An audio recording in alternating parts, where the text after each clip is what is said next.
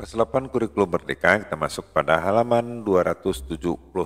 Ya, kita akan membahas tabel 55 elemen dari cerita berjudul Make Up. Nah ini petunjuknya yang B ini ya. Perhatikan pada elemen-elemen dari sebuah cerita pada tabel berikut ini. Nah jadi ini dia tabelnya ya yang telah kita sampaikan tadi.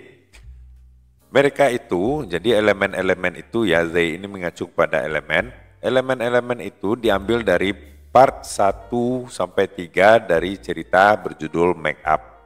Nah, jadi elemen itu dalam sebuah cerita ada tiga. Yang pertama elemennya adalah orientation, yang kedua ada complication, dan yang ketiga adalah resolution. Nah, di sini apa fungsi kita bahas satu-satu ya, orientation dulu.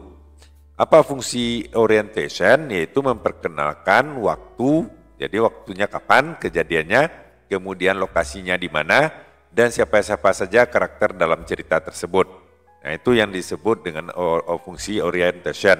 Nah contohnya saya melirik dia. Dia datang kepada saya di pagi hari menunggu kelas dimulai.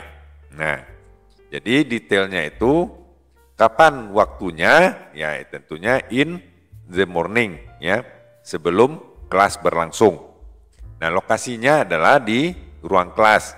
Jadi ruang kelas ini disampaikan secara implisit atau secara tidak langsung. Ya, di pada kalimat yang di, di sini ya pada kalimat example-nya ini.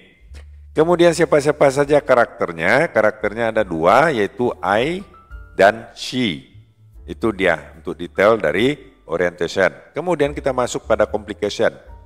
Complication itu apa fungsinya?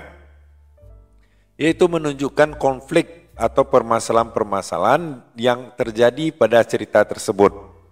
Nah, contohnya ini dia pada contoh yang di cerita make up. Kamu ter akan terlihat lebih cantik dengan memakai make up. Nah, kemudian dia melihat saya intently dengan lekat, ya lekat, dengan lekat-lekat ya, ya.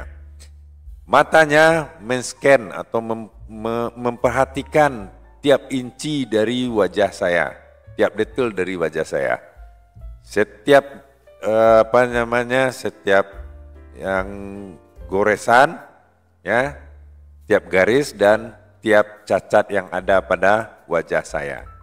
Jadi apa permasalahannya? Ya permasalahannya dia itu memperhatikan dengan lekat-lekat atau men-scan tiap inci dari wajah saya. Ya memperhatikan dari ujung ujung apa dari atas sampai ke bawah, dari wajah sampai ke dagu. Ya diperhatikan baik eh, dengan tajam. Jadi hal itu merasakan si I itu merasa tidak nyaman. Kemudian apa resolusinya atau eh, apa maksudnya dari resolution? Nah ini dia, fungsi dari resolution ini memberikan solusi atau uh, jalan keluar untuk permasalahan-permasalahan atau eh, eh, konflik-konflik yang terjadi pada cerita tersebut. Nah, apa resolusinya atau solusi jalan keluarnya yaitu maybe someday. Nah, jadi eh, kalimatnya itu yang ada untuk resolusinya itu adalah maybe someday mungkin lain hari. Apa solusinya? Detailnya itu dia mengabaikan komentar dari tokoh si tersebut. Nah, nah, nah itu dulu untuk kali ini. Mudah-mudahan bermanfaat. Jangan lupa subscribe dan like videonya. Sampai jumpa.